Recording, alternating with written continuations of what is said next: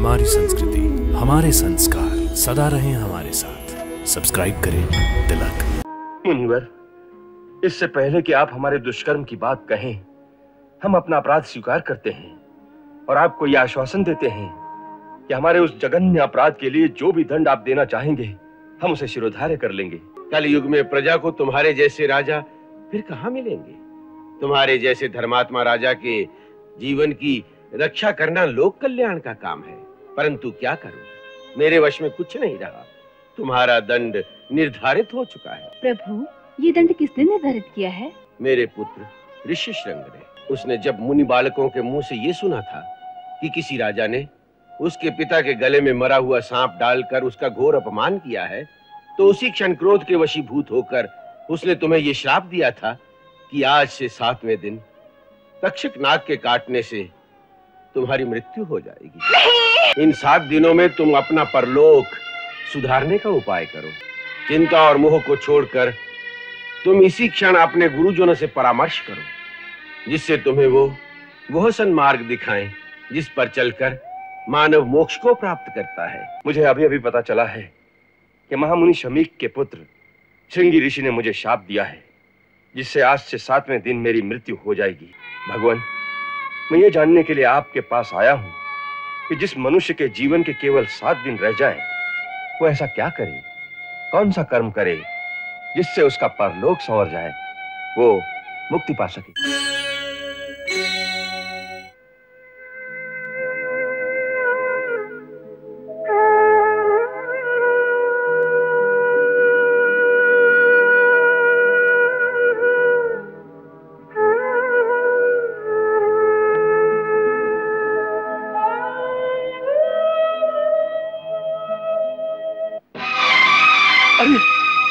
क्या कर दिया मैंने? प्राणनाथ आप सहसा घबरा क्यों गए? जैसे किसी आशंका से भयभीत हो उठे हो। और रानी मैं भयभीत हो गया हूँ। यह कलयुग का पहला प्रहार है। आगे क्या होगा? उसी का भय है। कैसा प्रहार? आज मेरे हाथ से एक अनर्थ हो गया। जो हमारे कुल में किसी राजा ने अब तक नहीं किया वो अपमान किया है मैंने एक महामुनि का। ये सब इस राज मुकुट के कारण है। इस राज मुकुट में बैठे कलयुग ने मेरी बुद्धि हर ली और मुझसे ऐसा पाप करा दिया जो निश्चय ही विनाश का सूचक है। मुनिवर महाराज दिन भर वन में मृग्या करते करते थक गए हैं। इस समय रनिवास में वो विश्राम करने चले गए हैं। आप कल प्रातः ही उनके दर्शन कर सकते हैं। ये उनकी निद्रा का समय है। नहीं वत्स ये उनकी निद्रा का नहीं जागने का समय है और मैं उन्हें जगाने आया हूँ।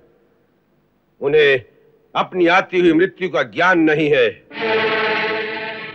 कल प्रातः तक तो बहुत समय निकल जाएगा। इसलिए मेरा उनसे इसी समय मिलना परम आवश्यक है। इसी में उनकी भलाई है। जाओ तुरंत उन्हें हमारे आने की सूचना दो। जो आज्ञा मुनिवर? फिर? फिर क्या? ये सोने का बोझ सिर से उतरा है तो पवित्र बुद्धि जागी है। मैं इसके लिए कड़े दंड का अधिकारी हूँ। यदि आप उनके पास जाके क्षमा मांग लें तो आपको अवश्य क्षमा कर देंगे। वो क्षमा करें या न करें मेरा एक अपराधी की भांति उनके श्री चरणों में जाना आवश्यक है। मैं प्रातः ही जाऊँगा।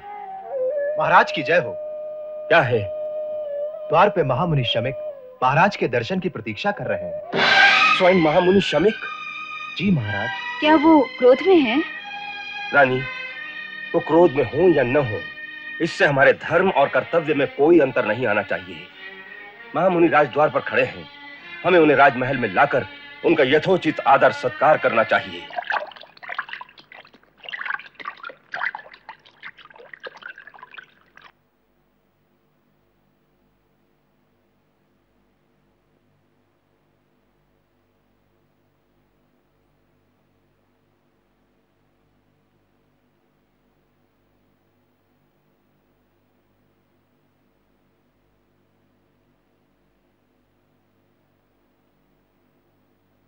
महाराज, आपके आगमन से राजमहल पवित्र हो गया।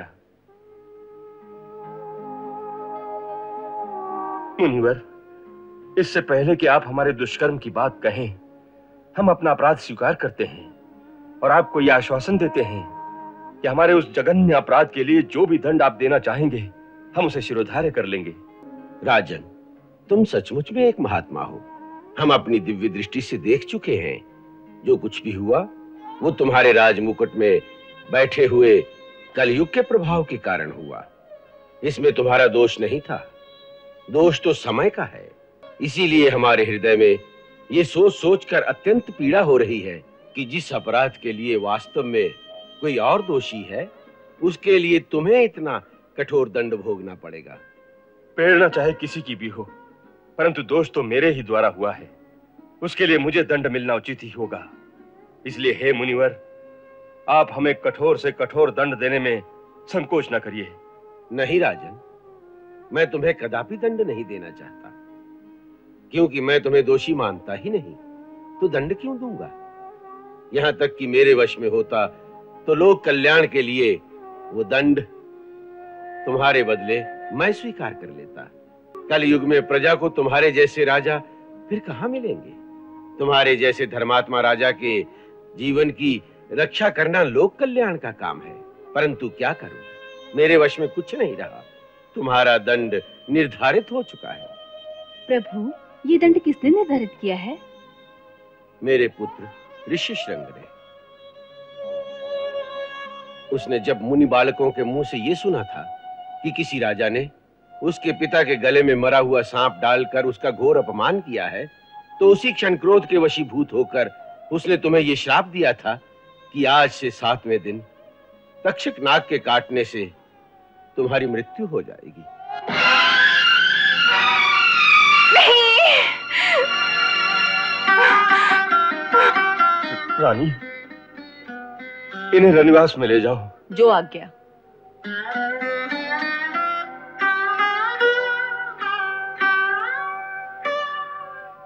विधि के धनुष से दुर्भाग्य का ये वान निकल चुका है। वह वापस नहीं होगा। मैं तुम्हें यही बताने आया हूँ कि इस संसार में अब तुम्हारे बचने का कोई उपाय नहीं है। इसलिए इन सात दिनों में तुम अपना परलोक सुधारने का उपाय करो। जिस स्त्री पुत्र की तुम चिंता कर रहे हो, वो तुम्हारे साथ नहीं जाएँगे, यही रहेंगे।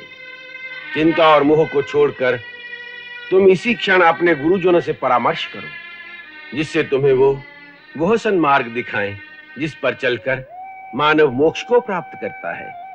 ताकि जब तुम इस देह को त्याग कर दूसरे लोक में जाओ तो वहाँ तुम्हारा वैसा ही सत्कार हो, जैसा महात्मा पुरुषों का देवलोक में होता है। राजन, भगवान तुम्हारी आत्मा को शांति दे।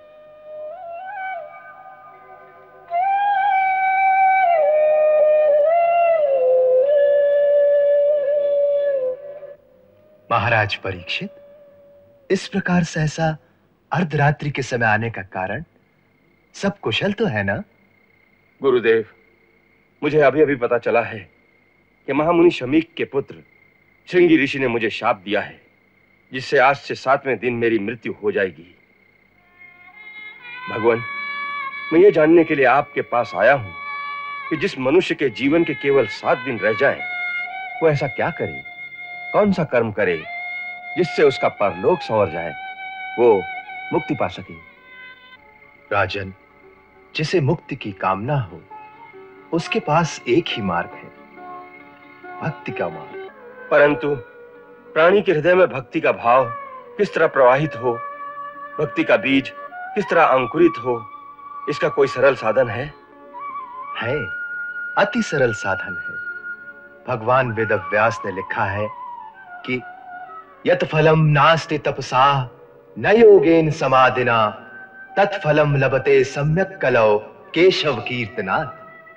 अर्थात, जो फल तपस्या, योग एवं समाधि से भी नहीं मिलता। कलयुग में वही फल श्री हरि कीर्तन, अर्थात, कृष्ण लीला का गान करने से सहज ही मिल जाता है। इसलिए तुम श्रीमद् भागवत कथा का श्रवण और कीर्तन करो। उसमें श्री कृष्ण की दिव्य लीलाओं का पवित्र वर्णन है। उसी के श्रवण से उत्पन्न हुई भक्ति ही तुम्हारे मोक्ष का कारण होगी। ऐसा है तो गुरुदेव अपना सेवक जानकर मुझे भागवत कथा का दान दीजिए। राजन इस समय उसके पूर्ण अधिकारी भगवान वेदव्यास के पुत्र भगवान सुखदेव ही हैं। तुम उनकी शरण में जाओ। वो अवश्य तुम्हें श्रीमद् भागवत कथा अमृत का पान कराएँगे। ज्ञान के पर्वत, ध्यान के सागर बाल यति सुखदेव कहाए। वेद समस्त और शास्त्र सभी मुनिराज के मानस माही समाए ऐसे महातपधारी के द्वार पे याचक बन के परीक्षित आए। जान मनोरथ राजन का मुनिराज कृपा के घन बरसाए।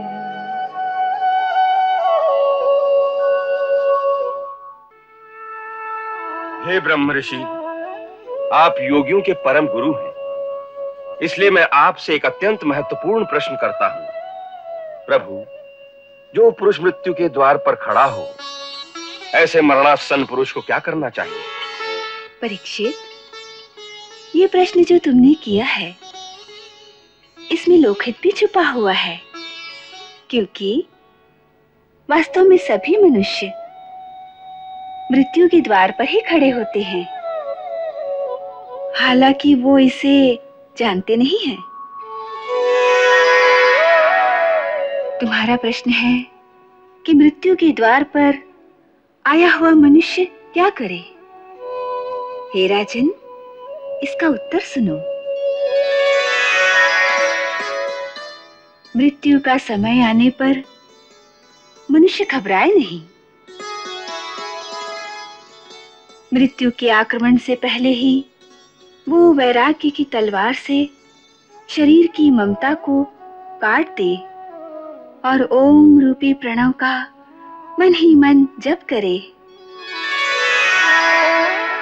प्राण वायु को वश में करके अपने मन का दमन करें। बुद्धि की सहायता से इंद्रियों को उनके विषयों से हटा ले।